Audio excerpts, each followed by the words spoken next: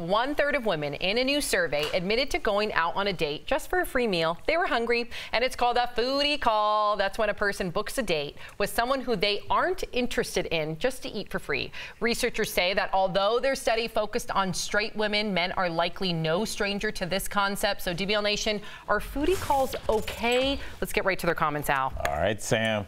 Uh, and Jeanette from Facebook says, if you if I don't like you, I'm not dating you, period. I can get free food from a food pantry. yes, but that's a lot less romantic.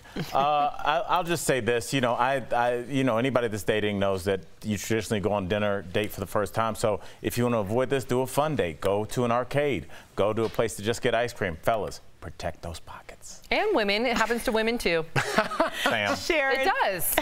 It happens to women too. Remember that story that we did about that one guy? That, that one guy. Okay. We, why do you think we did a story on him? Because there's one guy. Okay, go ahead, Eric. Well, Sharon from Facebook says, no, if a man asks you out, it's because he's interested in you as more than a friend. However, if you say up front you are not physically attracted to him and would just like to remain friends, then go. Um, Sharon, I like that you put all your cards on the table. I think that's, that's what people should do. I've done this twice, and I can remember both times exactly the man and the restaurant because they said to me, this key phrase why don't we just go out to dinner? Dinner, there's no strings attached. Mm -hmm. It'll be a good time. Mm -hmm. Well, hey, I like a good time. I like dinner. I like company, but I have paid it back because I absolutely have brought people out to dinner with me with no expectations of them paying. So it's come full circle. Yes, honey. Yes.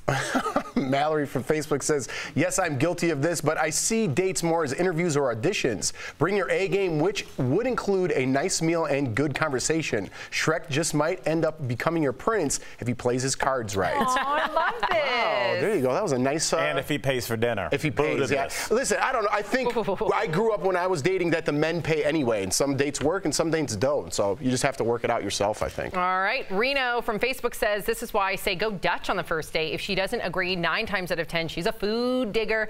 I got to be honest. Uh, like Erica, this happened to me once. I remember the person. I remember the restaurant. I was starving in college. I had no money. I lost my swimming scholarship. And when somebody offered me a free meal, and they I didn't assume, Al, they offered me a free meal. I would love to take you to lunch. You better believe my empty stomach said yes. Can we ask the booth if we've cleared Cry Me a River without having you to pay them? To, you don't have to uh, play Cry Me a River. I'm being honest. I'm not asking for sympathy. from a man. No, I didn't. Yes, I, I was open you to had fireworks. No, you had no I, intention uh, of going Jackson, second. I was Once open you got to, full, he can became I talk? less Yeah, attractive. men have been stealing things for a long time, and, okay? And do you know how many meals I, I paid for for men? So many meals. I've been the breadwinner in so many of my relationships. I have no qualm with that. But when he invited me to a meal, doesn't mean I wasn't open to fireworks. They did not happen, but I was open.